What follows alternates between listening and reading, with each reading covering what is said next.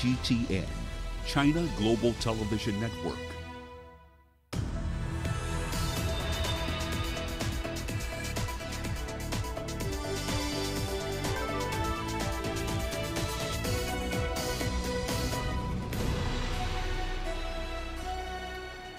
Hello there, welcome to this edition of Global Business Africa. In the course of the hour, we'll run through all the business news stories and a bit more that you need to know about from Africa and beyond. Let's start with a quick run through the markets here for you. So, Eskom had applied for a 16.6% tariff hike. That was rejected. And now ITSEO is saying, look, the company needs a cash injection as it's struggling to service a $31 billion of debt it has on its books. Either it comes from a tariff increase, the CEO argued, or you're going to put that in as far as equity is concerned. Key concern there, spot gold rising rather steadily so far in 2020, uh, rising by over 5% to crack the $1,600 an ounce level earlier in the trading session. Gold index at the JSE had not rising to the same consistent level, but it is 3.7% higher so far over the period. Here's what's coming up tonight. Inflation in Nigeria rises to a two-year high. Billions of locusts uh, threatening food harvests in the eastern and the eastern end of Africa and the Horn. And China's delivery industry resumes service after weeks of lockdown. Our starting point tonight is in Nigeria. Annual inflation over there rose in January to its highest level in nearly two years. Now, according to data released by the country's National Statistics Bureau, headline inflation in January was 12.13% compared to 11.98% in December. That marks the fifth straight month of acceleration. Now, the consumer inflation rate in January was the highest since April 2018, when it was 12.48% back then. Inflation had since then dropped to its lowest in nearly four years in August, but it's risen steadily since then and this is all due, for the most part, due to border closures. The West African country closed parts of its border, essentially all of its land borders really, to fight the smuggling of rice and other goods. But economists point out that this move has increased inflation and it's hitting consumers pretty hard. A separate food price index showed that inflation was, food price inflation rather, was at 14.85% in January compared to 14 and two thirds the previous month. And we're still in Nigeria. The country's oil ministry says it will send a new petroleum industry bill to parliament with an aim to pass it into law by the middle of the year. Now, for nearly two decades, this bill has seen various incarnations under different governments, but so far none has managed to get it to that last push and get it signed into law. Now, the resulting uncertainty has left oil companies and investors pretty lukewarm about putting their money into Africa's largest crude oil producer. The most recent version of the bill was during President Muhammadu Buhari's first term, but disagreements between lawmakers and the executive, so the leader rejects Parliament's efforts to pass a bill into law. Now, the relationship between the two sides is on a much better footing, and it could pave the way for a smoother drafting and adoption of this bill and its assent into law. So, will this time be different? Will that mythical bill finally become law? Let's examine this in a bit more detail with Gabriel Idahosa. He's a council member at the Lagos Chamber of Commerce. Good to see you on the program again, sir. So, Nigeria struggled to replace existing oil sector legislation for the better part of a decade, really. Mr. Buhari tried to have a fresh petroleum bill passed in his first term. He failed. What is different this time round, or should we be expecting more of the same?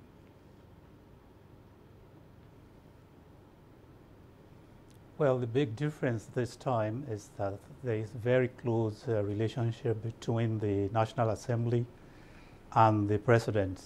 And they have demonstrated this in the last uh, six months by passing the deep offshore bill for the oil and gas industry.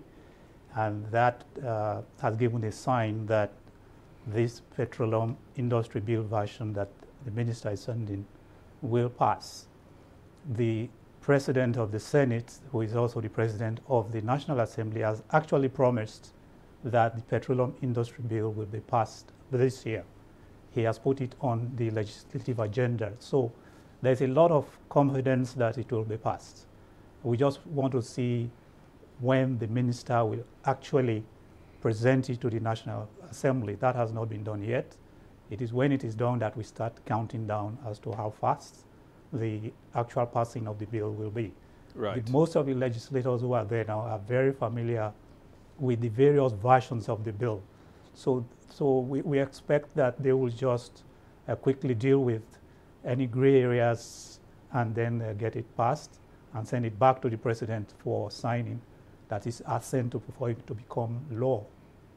Um, let's let's put this as simply as possible. What what problems does this petroleum industry bill try to cure? Is this just about increasing the state's share of oil revenues, or is it about trying to get provide incentives rather to get a lot more private capital into the oil and gas space? Uh, it, it's a bit more complicated. The petroleum industry bill actually was initially four separate bills to deal with the governance of the industry itself, to deal with the host communities where this oil is found, environmental issues, uh, economic and social uh, development of the areas. It also has to deal with the sharing of the, the, the barrel of crude oil revenue between the oil producers and the government. The, the, question of royalties payable to the federal government, the, the question of taxes applicable to oil and gas producing companies. It also tried to deal with allocation of the federal revenue out of the oil and gas to the various interest groups in Nigeria. So it's a, a pretty complicated bill. And that's one reason why it has not been passed all this time. Right. But the good thing is that most of the legislators there now are familiar with the history of the bill. Some of them have been there for the last 15 years. They have seen the various versions of the bill. And there's a general consensus as to how to deal with the various issues the, the community issues, the incentives to the oil and gas companies, the sharing of revenues between the oil and gas companies and the federal government, and the sharing, the domestic sharing of the revenue within the country. So there, there's a clear understanding between government and the legislators that these matters have been flogged about enough. Everybody understands what everybody wants, and it's a matter of give and take. The oil and gas companies have to give more to the government. The government has to give more to the, the host communities, and various parts of the country have to also compromise the sharing of crude oil revenues so those are all the issues that are uh, in the bills. Right. So let, me, let me just narrow it down into one specific issue because there have been be concerns based on past drafts, for instance, that the changes to the law would make, uh, for instance, the deep offshore oil and gas deposits potentially unattractive to investors. Um, the draft, as you pointed out, isn't out just yet. But why would this be the case, assuming that the past drafts might eventually make it into law?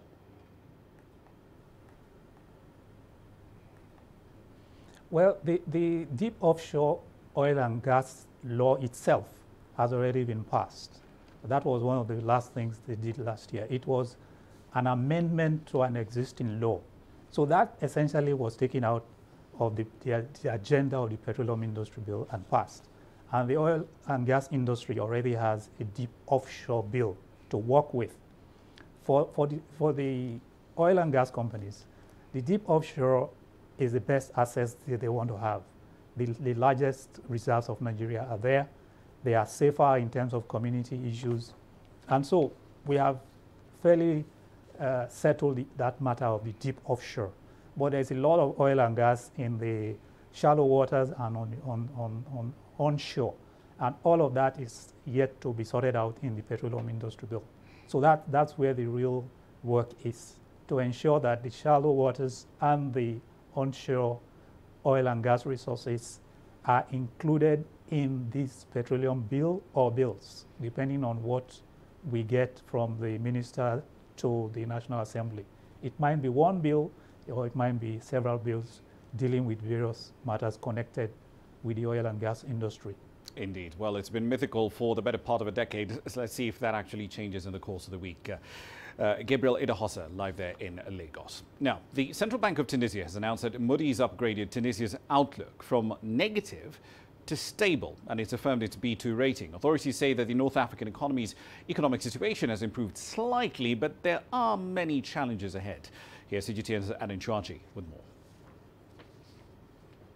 The minister in charge of structural reforms said this upgrade is mainly due to the reduction of the current account deficit, the improvement of the foreign exchange reserve, and the reduction of the public debt burden. Such elements have significantly reduced the level of risk related to the microeconomic stability. This upgrade says the outlook is no longer as negative as it was a few months ago. The future could be stable but difficult. Moody's said the affirmation of the B2 rating reflects external vulnerability risk that remains elevated in light of large external financing needs and high debt burden still vulnerable to potential currency and financing shocks. Tunisia continues with the current economic orientation. Moody's will improve the notation but not the perspective. The Finance Committee at Parliament said that the new government must be formed as soon as possible because political instability and uncertainty will impact economic indicators. Moody's warned that the political paralysis or the inability to form a government will delay the implementation of outlined physical and business environment reforms and could result in a downgrade. Moody's upgrade also takes into account the relative strength of Tunisia's institutions and governance and the potential for the economy to return to stronger growth rates. According to the Central Bank of Tunisia, the upgrade decision came following an on-the-site review conducted by Moody's four months ago. The agency also held meetings with the government, the General Labour Union and the Confederation of Industry, Trade and Handicrafts. Aden Shawishi, CGTN, Tunis. Now, before heading to Ethiopia, where he was today, the U.S. Secretary of State was in Angola on Monday. Mike Pompeo lauded the Angolan president Joao Lourenco's anti-corruption drive. The Trump administration is looking to revitalize its relations with African economies, as CGTN's Beryl Oro now reports. You will have the heavy ore the U.S. Secretary of State Mike Pompeo was touting American business in Angola as the world's biggest economy battles rival superpower China for economic influence on the African continent. We'll do our part uh, to help the Angolans achieve prosperity. Angola is sub-Saharan Africa's third largest economy and second largest oil producer. U.S. corporations such as ExxonMobil and Chevron have significant stakes there. But despite these investments, the bulk of Angola's oil is destined for China, which also holds the lion's share of Angola's foreign debt. The Trump administration accuses China of predatory lending in Africa, where Beijing has loaned governments billions of dollars in exchange for access to natural resources. But some African governments question Donald Trump's own commitment to the continent. The White House last month tightened visa restrictions on nationals from Sudan, Tanzania, Eritrea, and Nigeria, and West African governments are also worried about a proposed U.S. troop withdrawal from the region just as Islamist militants are gaining ground. Pompeo told reporters that the U.S. needs to, quote, get security right here in order to enable economic growth. Corruption is the enemy of nations' growth and progress. U.S. Secretary of State Mike Pompeo was also keen to denounce corruption. Angola is ranked as one of the world's most corrupt nations, although it has seen a crackdown against graft since President Joao Lourenco took office in 2017. Beryl Oro, CGTN.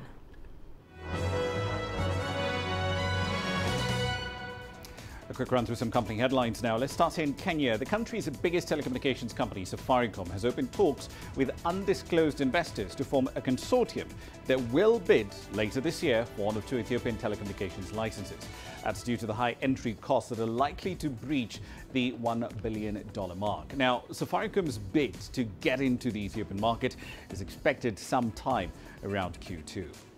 Egypt's Eastern Tobacco Company revenues rose 7.5% year on year to $492 million in the first half of the 2019-2020 fiscal year. Now, the company's gross profits are also up by nearly 14%. $201 million was the number. That represents a 9.3% increase in net profits to 141 million. That was driven by an increase in volume and better pricing compared to the previous period under consideration. Amazon's CEO, Jeff Bezos, has pledged $10 billion to help fight climate change. Now, the world's richest man said the money would finance work by scientists, activists, and other groups. He has an estimated net worth of more than $130 billion, which makes his pledge worth nearly 8% of his net worth. And finally, HSBC says it will shed about $100 billion in assets, shrink its investment bank, and revamp its businesses in the United States and Europe. Now, this drastic move, unfortunately, does mean that 35,000 jobs will be cut over the next three years. The bank has struggled to keep pace with leaner and much more focused rivals, and it's seeking to become more competitive as it grapples with slowing growth in the major markets in which it operates. That's a run through your company headlines. You're watching Global Business Africa. Time for a short break. Here's what's coming up next.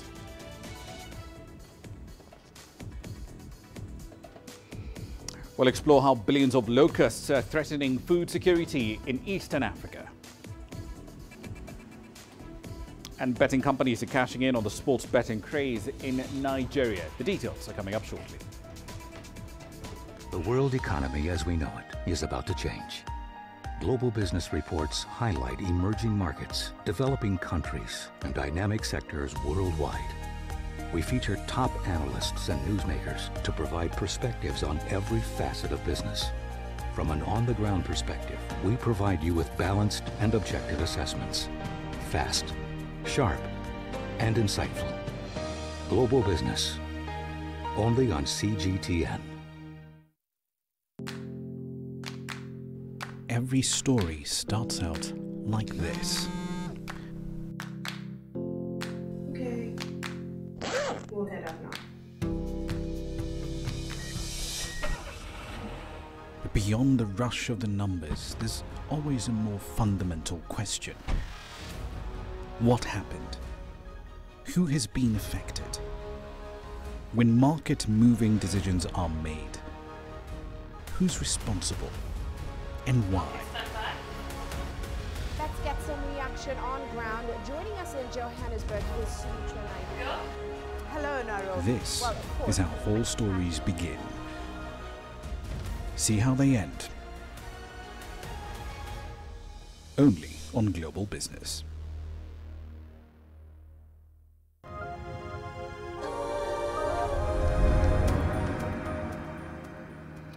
Welcome back to the program. Now, the East African region where we're based at the moment could be on the verge of an enormous food crisis if a huge swarm, or swarms actually, of locusts that are devouring crops and pasture are not brought under control. The United Nations Food and Agriculture Organization is now calling on the international community to help provide the $76 million that's needed to fund the cost of spraying the affected areas and to get this infestation under control. With the details, here's CGTN's Penina Karibe. Yeah, I fear, fear it a lot because it has never happened ever since uh, we, we came to this place. It is the first of a kind and it is so terrifying. The United Nations describes the situation here as the worst in nearly 25 years. This swarm of billions of locusts are devouring everything in a matter of hours. They've already covered hectares across Kenya, Somalia, and Ethiopia, threatening the food security and the livelihood of millions. But now, scrambling to respond to their arrival is Uganda.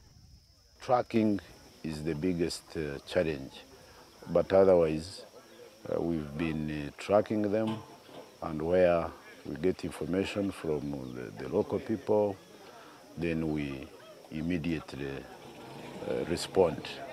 And the response has been good.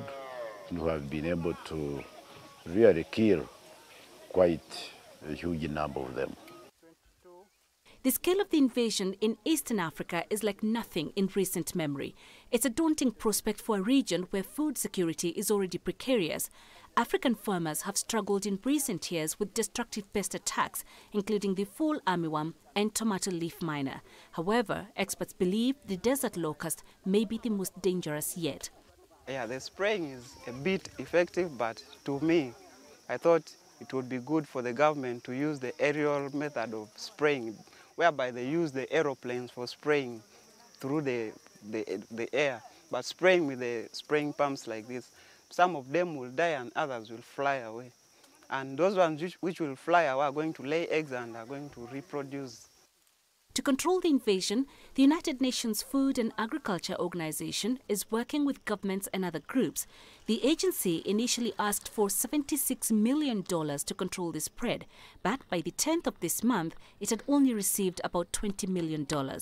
The desert locusts, despite the name, thrive following periods of heavy rainfall.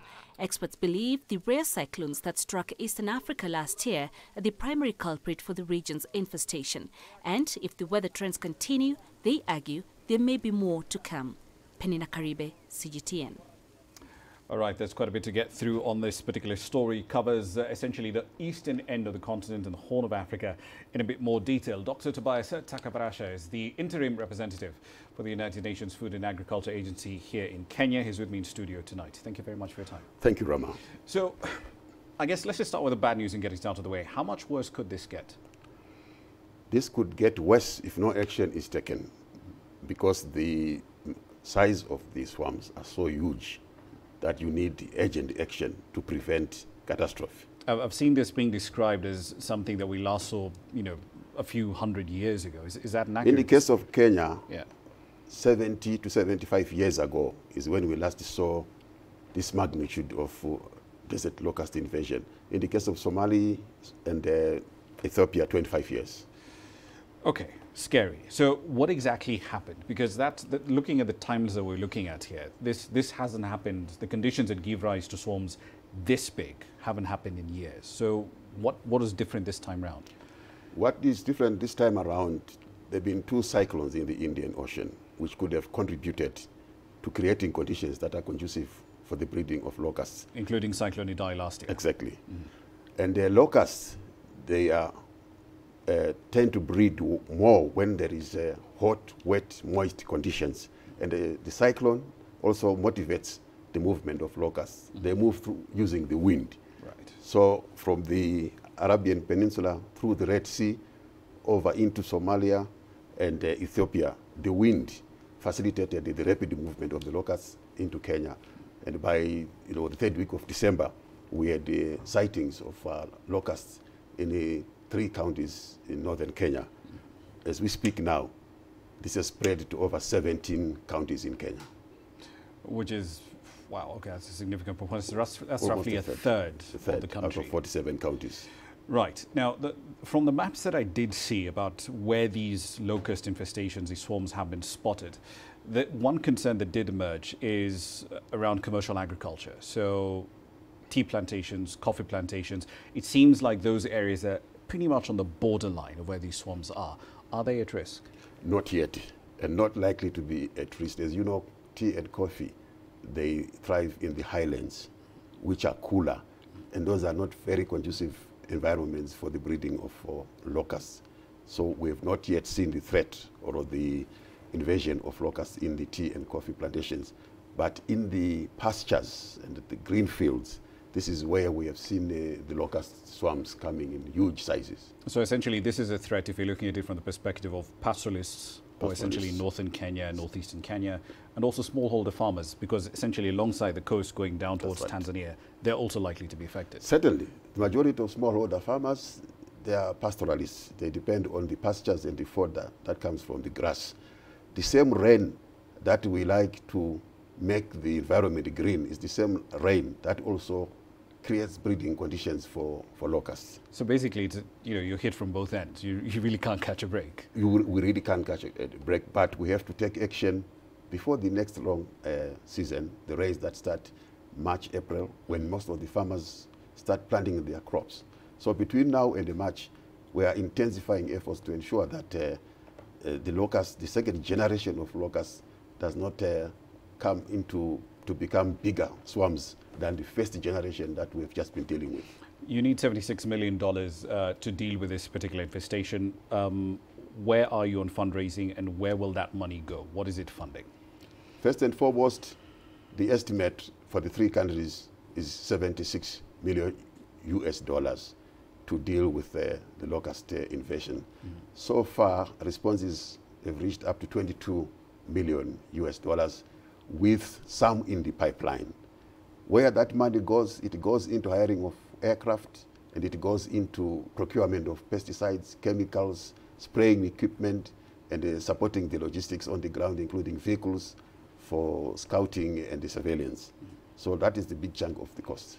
The, because the argument that some would make is, I mean, look, all, if you look at all the countries that we have in this region, um, Ethiopia, Uganda, Kenya, um, they essentially all have standing militaries, and those uh, entities that get billions of dollars every single year. Um, what is it that we need to do to retrofit them, for lack of a better word, to be able to deal with something of this crisis? To be able to deal with future crises, there's what we call disaster risk management and a preparedness. Governments in this part of the world, mind you, they have also experienced the floods and the droughts, and they have been building up their resilience and the capacity to deal with the situations of this nature. But the magnitude of these situations is such that countries on their own may not have sufficient budgets to deal with the effects. Mm. And we are saying to the countries it is better to deal with the controlling of the locusts than to wait when the effects on food security are such that the requirement and the amount needed to feed people will be much bigger. Much, much higher. Exactly.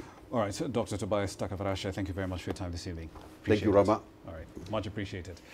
All right then, so let's move on to the business of brewing. Uh, South African Breweries and its parent company, AB InBev, have launched a new broad-based Black Economic Empowerment Scheme. The new plan allows black retail investors to secure shares in the brewing giant. And it comes as a current landmark SAB Zenzele scheme, matures in April this year.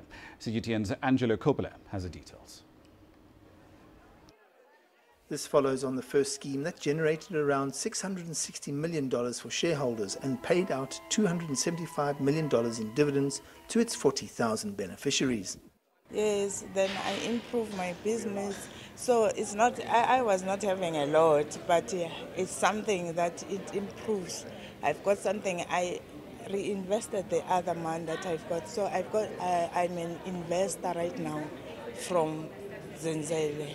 The 10 year old scheme comes to an end in April, and current shareholders will be given an option to stay invested or to cash out when the new $372 million scheme lists on the JSE. The old scheme was an unlisted entity. So, the real reason why we're moving from private to public today and why we're here at the JSE uh, is to provide both those things. So pricing transparency through a market listing and liquidity as well. So we think both those things will benefit the beneficiaries. The listings environment in South Africa reflects the rather muted economic growth in the country, currently with growth pegged at around 0.8% for the year. The exchange has to be rooted in the economy in which it operates. And in, in South Africa, much of the trading that happens happens in the institutional environment, which is the pension fund environment where we really need to see growth in order to invigorate and to grow the economy is in the retail sector. And the black economic empowerment deals that we're seeing, such as SAB, are vital for getting ownership into the hands of the man in the streets. The SAB scheme has been one of the key examples of how black economic empowerment can work in South Africa, and this new iteration is sure to follow on with that trend. I'm Angelo Coppola for CGTN in Johannesburg, South Africa. Now, Nigeria's gaming industry has seen quite the growth over the last decade. One report, in fact, estimates the West African nation generates roughly $180 million just in gaming activities every year. So what exactly is behind this vast growth? CGTN's Deji Badmus sought to answer that question. It's boom time for the gaming industry in Nigeria, especially the sports betting segment, which is not just the dominant but the most lucrative. Virtually every street corner in Lagos, for instance, has at least one side corner sport betting sport like this one. At the very heart of what is driving the expansion is Nigeria's large youthful population and the country's crazy love for football. All the top football clubs in the world, especially in the English Premiership, Spanish La Liga, and the Italian Serie A have a huge fan base here. In many of the leagues for sport betting, wherein people play, uh, wherein people play, uh, Nigerians have an affinity towards these superstars, so they put their money behind them. Internet penetration is rapidly growing in Nigeria and projected to reach around 187 million people in 2023. This increasing access to the internet is also helping to drive up the numbers in the country's gaming industry. With access with cheaper data and um, cheaper mobile phones, the industry has grown at a very fast pace. And education also has also been important. People are now more educated than they were before. And um, the opportunity wherein that um, you can put in a small token, a small amount of money to get something quite big, and um, also the opportunity of entertainment, wherein you back the team at which you support. That's for sports betting. As the number of punters continue to grow, so does the number of operators. As at 2017, the Lagos State Lotteries Board alone had issued at least 40 licenses to operators, according to one report by PricewaterhouseCoopers, and the operators are raking in huge revenue. A 2016 report by KPMG estimates that one of the leading sports betting companies in Nigeria was making an average of $10 million monthly. That astounding figure has spurred a number of foreign sports betting companies to also enter the Nigerian market, hoping to cash in. But there's a twin problem of underage gamers and betting addiction. On our own end here, we do a lot to ensure that we, uh, we don't have underage, underage gamers who join our online platform. And in our shops also, in many of our shops, the 247 shops, our agents are trained to identify uh, customers who are below the age of 18 also. So the, the, the, the awareness is there, and we are doing our best to reduce um, addiction to gambling also. Unlike sports betting and virtual gaming, casino gaming still lags behind, no thanks to its seemingly limited access. Young people have simply not warmed up to it and generally see it as too upper class. But analysts say that will change with innovations. Generally, the gaming industry in Nigeria is considered one of the fastest growing in the world, and there are projections the country would soon be the number one in terms of revenue generation on the continent pretty soon. Deji Badmus, CGTN, Lagos, Nigeria. You're watching Global Business Africa. Time for a short break. Here's what's coming up next.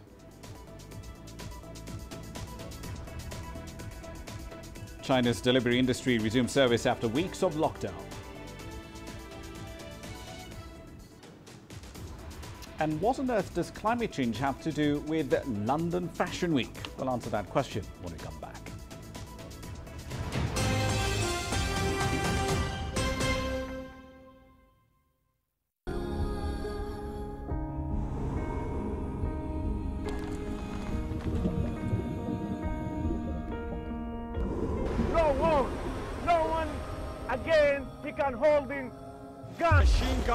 Police forces the protesters.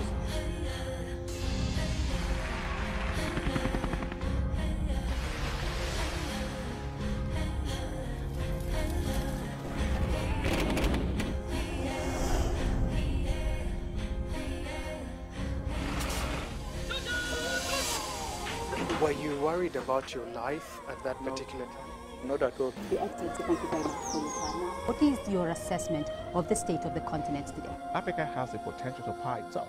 Excuse me.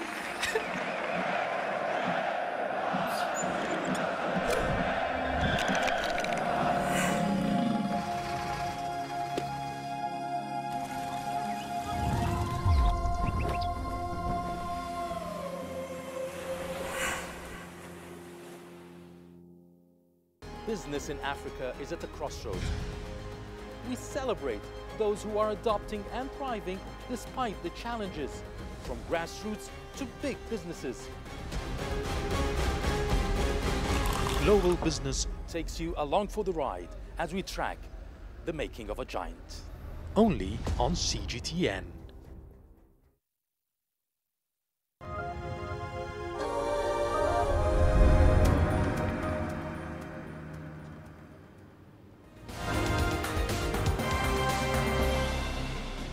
Welcome back to the program. You're watching Global Business Africa. Let's make a run through some of the stories making you headlines at this hour, starting in South Sudan. President Salva Kiir was scheduled to meet the opposition leader Riek Machar in Juba to try and resolve the pending issues on a number of boundaries and states in the country. After a pretty long stalemate on the issue of, administrative units in the country, President Kiir agreed to revert back to 10 states with three special administrative areas. But the opposition leader is rejecting that offer. He's demanding that the administrative areas be removed entirely. Elsewhere, Lesotho's First Lady has appeared in court. Maesaiah Thabane is uh, facing the charge of murder after being linked with the assassination of Prime Minister Tom Thabane's estranged wife back in 2017. Now, the case has gripped the Southern African kingdom as calls for the Prime Minister Tom Thabane's resignation intensify. The 80-year-old Premier has already agreed to resign based on his advanced age, but he's not given any tentative date or timelines for when that can happen. And finally, the United States Secretary of State Mike Pompeo has met with Ethiopia's reformist Prime Minister Abiy Ahmed Ali and other officials on the final leg of his African tour. His visit in Ethiopia focused on security ahead of Ethiopia's elections later this year in August, investment and the dispute with another American ally, Egypt, over the construction of a giant hydroelectric dam across the Nile. That's a run through your headlines.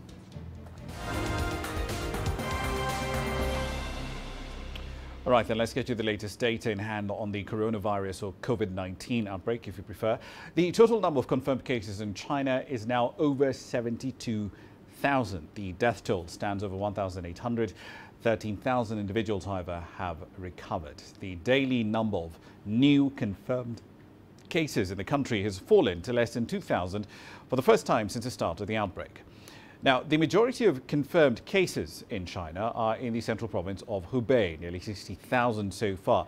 70% of them are in the provincial capital of Wuhan, where the outbreak started. Outside of Hubei, the provinces of Guangdong, Zhejiang and Henan are the most affected areas. Each of those has more than 1,100 cases.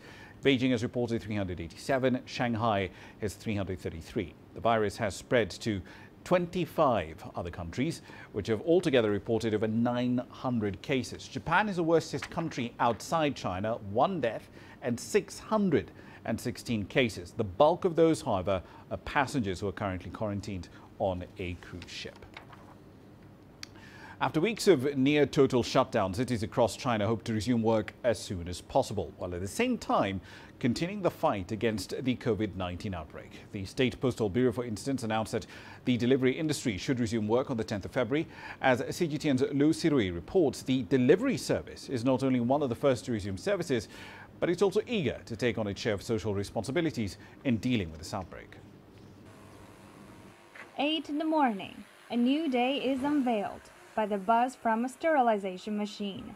This is a distribution site in Beijing of ZTO, one of China's biggest delivery companies. Scooters, baskets, or newly arrived packages, nothing will be exempted from disinfection. Ho Yong Meng worked as a delivery boy for the past two years. He's seen his workload reduced by half, alongside his wages. Usually, I only need to deliver packages to one community. Now, I have to send to three. Today, I'd have to deliver around 200 packages. Like his colleagues, Ho feels obliged to resume work as quickly as possible. In ZTO, 70% of its delivery staff are back at work. The resumption of delivery service matters not only in the economic sense. As the virus continues, it means we have to shoulder greater social responsibilities. The reason why many of us are able to stay at home is because the delivery staff are able to do their jobs. Even though the majority of them are back at work, it doesn't translate to the recovery of the industry. Delivery personnel find it difficult to deliver packages due to road closures and traffic controls across regions imposed as a result of the virus. There are also fewer packages to deliver due to the decline of online shopping. As compared to the same period in previous years, we now have only one third of our business. That's mainly because the online retailers have not resumed work. There's also a sense of distrust among our customers on how we work. So ZTO is now working out a set of safe delivery procedures. We want to cultivate a feeling of trust. I think when the outbreak eases by the end of March, the sense of trust will increase and we'll see a big improvement in our business. For now, the delivery staffs are not allowed to enter most communities in Beijing. For Ho, it means endless phone calls to customers to get them to pick up their packages, and more time spent waiting at the gates. State Post Bureau planned that the country's delivery industry should be restored to over 40% of its normal capacity in mid-February.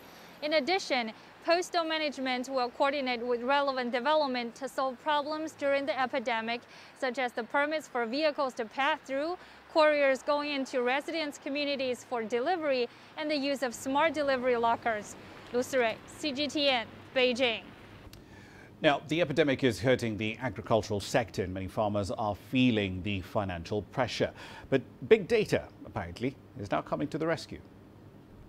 This is a family farm that grows rice and corn.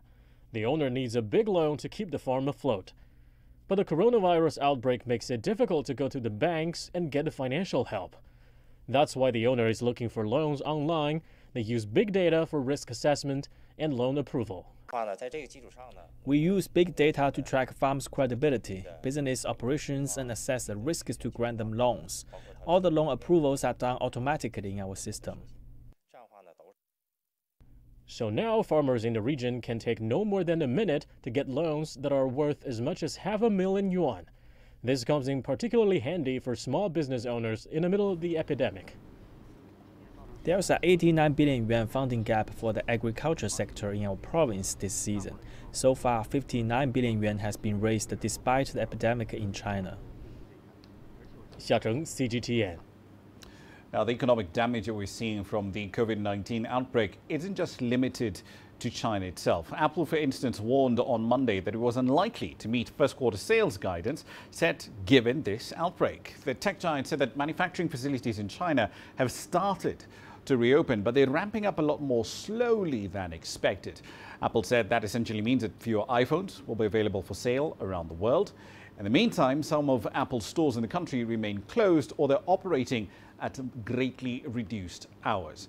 Apple said that hurt sales that will essentially hurt sales really this quarter. Now, analysts do estimate that the virus may slash demand for smartphones in China by half in the first quarter. And it's pretty much the same thing that we're seeing in uh, the most uh, industrial economy in Western Europe. It's been a very tough 12 months for the German economy. GDP growth was virtually zero in the last quarter of 2019. And back then, that was mostly down to a combination of trade tensions and Brexit. But now some economists are warning that this COVID 19 outbreak could tip Europe's largest economy into a full blown recession. CGTN's Guy Henderson this report. It's more than 8,000 kilometres from the outbreak's epicentre, and yet bosses at this factory outside Stuttgart say COVID 19 could soon start hitting output. Ziehl-Abegg's industrial fans go into, amongst other things, Chinese hospitals, but its China operations facing serious disruption, and that is already affecting revenues. The situation in China will affect us definitely. So the next couple of weeks we will be probably only working with 45, 50 percent of our working capacity, original one. So that will be have an effect not only on our Chinese organization but also on the whole organization. So 2020 will be pretty tough, and that does not apply only for us. It will also apply to our customers because we can also not produce a full load. Its German plant could, in theory, start picking up some of the slack, though production costs would rise. The bigger problem, though, is that in a couple of weeks it could start running out of parts. This goes further than the Chinese operations of German companies. Economists say that German exports to China are bound to be hit, firstly, but there are also a lot of German companies here and in other parts of the world who, to some extent, rely on materials that originate in China. So if those stop arriving on time, well, that starts to have a more significant impact on overall output. Take Germany's beleaguered auto industry, still the backbone of the economy. It relies on Chinese demand, but also Chinese components. Fiat has already announced a plant closure in Serbia due to supply shortages. Germany's big car brands are yet to follow suit, but they're clearly worried. The fact that the duration and severity of the outbreak are unknown at this stage generates uncertainty over the near-term economic prospects in China and abroad, the uncertainty comes with broad-based global ramifications for manufacturing with its cross-border supply chains. The German economy stopped growing at the end of last year. Some economists worry COVID-19 could drag it and even the rest of the Eurozone into recession. China is Germany's largest trading partner, so the fallout from this virus is likely to hurt it more than most. Guy Henderson, CGTN, Baden-Württemberg. The Speaker of the US House of Representatives is in Brussels for bilateral talks with EU leaders. These talks do come amid continued tensions, however, over the role that Huawei is playing in the rollout of 5G networks in Europe. Nancy Pelosi reiterated American concerns about potential security threats if EU leaders approve plans to allow the Chinese telecommunications giant a limited role in building out these networks. With the details, here's CGTN's Lucy Howe. Well, Huawei is seemingly the one area on which Nancy Pelosi and President Trump agree. The Speaker of the House of Representatives is in Brussels to try and continue to pile on the pressure on Europe to fall into line on China. Nancy Pelosi shares the view of the Trump administration about the potential risks of engaging with the Chinese telecoms giant and any involvement in Huawei in the rollout of 5G technology in Europe. Pelosi has been meeting the presidents of the EU Council and Commission, Charles Michel and Ursula von der Leyen, here in Brussels, underlining uh, those potential risks. Following his meeting, President of the EU Council, Charles Michel, tweeted that this underlined the transatlantic alliance, which was indispensable in meeting today's complex challenges. But this comes two days after the Munich Security Conference, where the consensus seems to be demonstrated quite how fraught tensions are between the US and Europe, particularly on areas such as defence and security. Mark Esper, the US Defence Secretary, even said that the NATO alliance may be at risk should divergences continue on the use of Huawei. Uh, but of course, uh, this demonstrates in broader terms quite what a bind the EU is in at the moment in positioning itself between the US and China. It's both trying to toughen its policies towards China whilst also trying to sign off a long awaited trade deal with a crucial summit taking place in Leipzig in Germany in September. Now, the list of stocks eligible to trade on the Hong Kong Stock Connect scheme has been announced. As expected, Alibaba is not on that list. Now, that decision comes despite the Chinese e-commerce giant secondary listing on the Hong Kong bourse last November. For the details, here's CGTN's Yu Wen. Alibaba's current valuation in Hong Kong is some 4.6 trillion Hong Kong dollars. But given that the company's main listing is in New York, it is subject to the supervision of the New York Stock Exchange. As such, its listing reviews and information disclosure are significantly different from other firms in the Stock Connect program.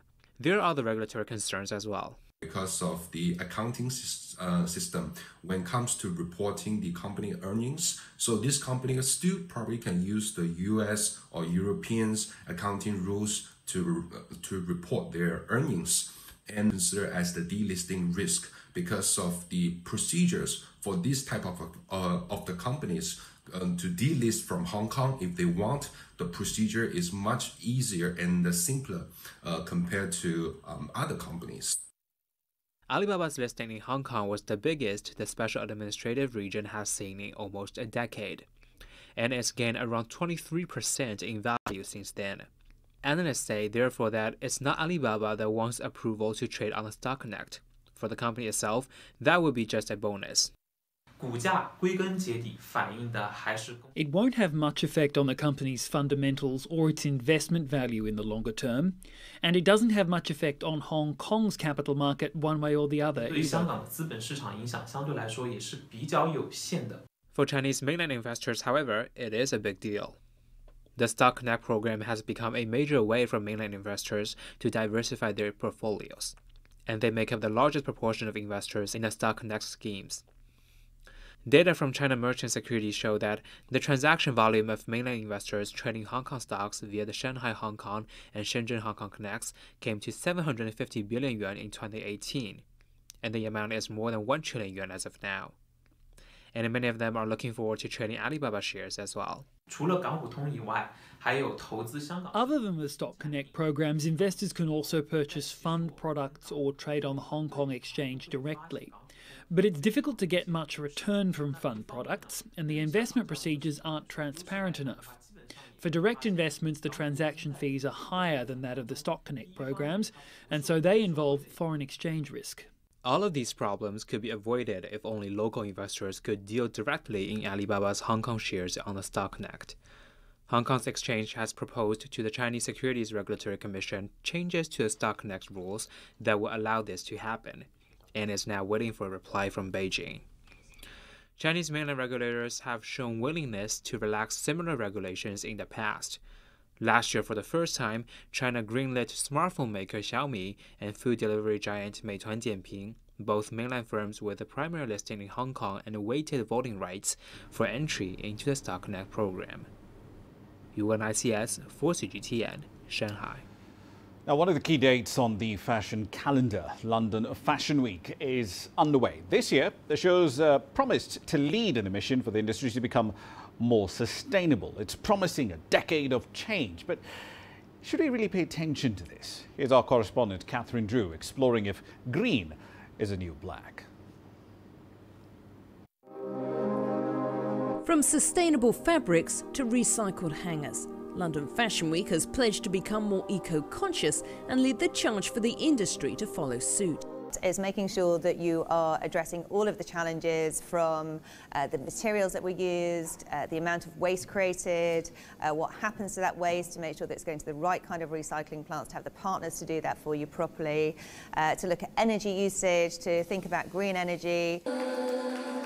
Chinese designer Huishan Zhang says he always considers the environmental impact of every aspect of production, and this year didn't send paper tickets to his show always thinking of, you know, by cutting, you know, the, you know, extra usage of energy, um, you know, also concern, concerning about, you know, not, you know, making all the necessary stockists for, uh, you know, for the collection, so we don't really have tons of fabric being ordered. Also, you know, actual um, garment has been manufactured.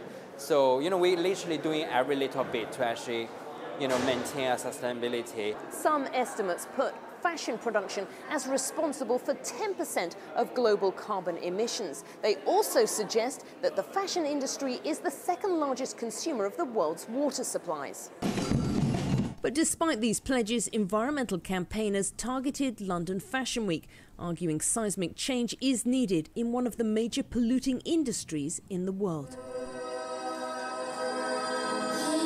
But those in fashion say the industry is changing slowly in reaction to consumer demand. So this is bamboo. Longtime fashion manufacturer Miranda Dunn launched her own design label three years ago with an eye to developing slow fashion, using sustainable materials and making clothes to order.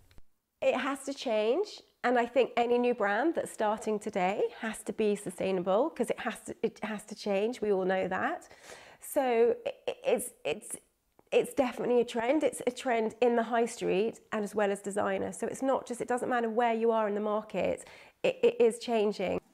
But can an industry built on selling the latest looks in large quantities really be sustainable? And will consumers set their own trends and increasingly reject? Prices here for you. So, jitters about the demand for industrial metals due to the COVID 19 output notwithstanding. Palladium seems to exist in its own parallel dimension. It's gone up by nearly 33% in seven weeks to $2,581 an ounce at 1600 GMT. Might actually broken that. We'll need to check that uh, number for you a little later.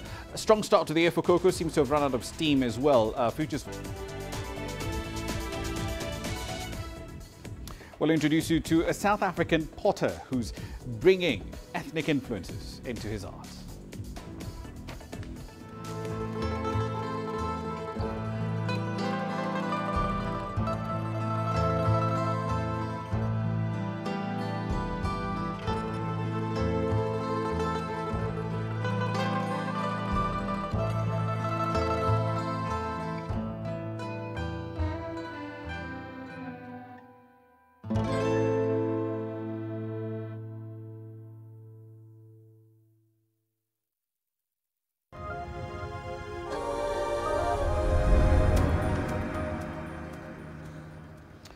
Welcome back. Let's take you to Garden Route in South Africa, where Eugene Lewis, a self-trained potter, creates original handmade pieces inspired by the Rainbow Nation's diverse culture. CGTN's Julie Shai visited Lewis in Knysna and filed this report on grassroots.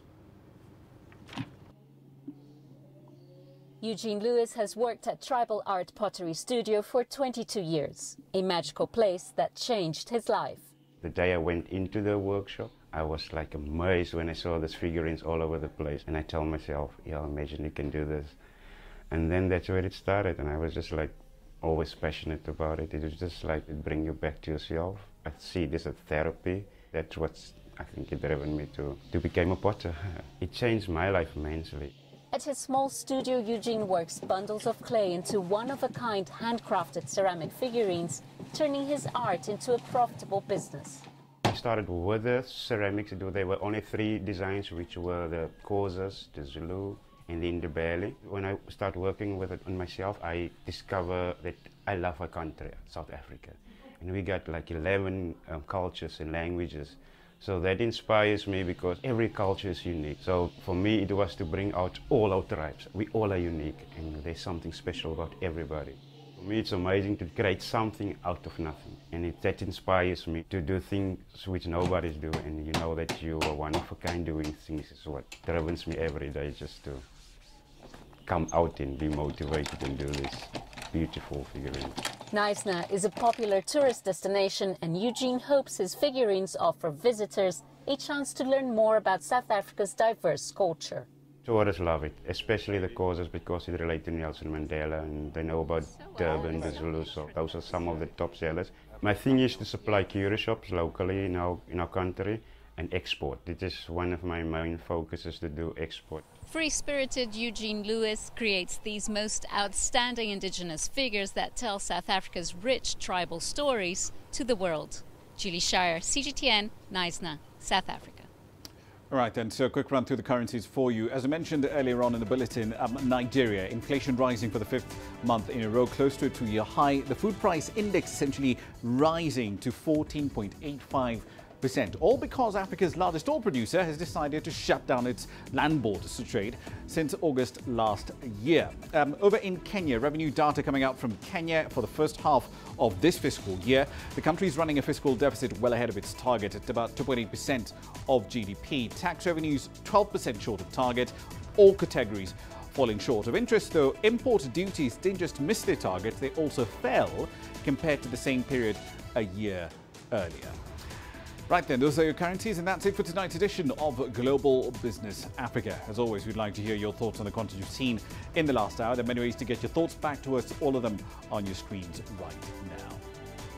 I'm Ramah Nyang in the Kenyan capital, Nairobi. Thank you for your company in the last hour. The World Today is up next from Washington, D.C.